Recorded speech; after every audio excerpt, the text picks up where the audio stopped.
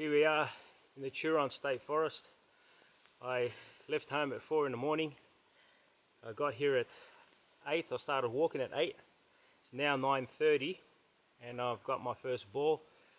Uh, saw about 8 to 10 um, in this uh, mob and uh, I shot another young female there which would be good as well as this guy to take the meat home.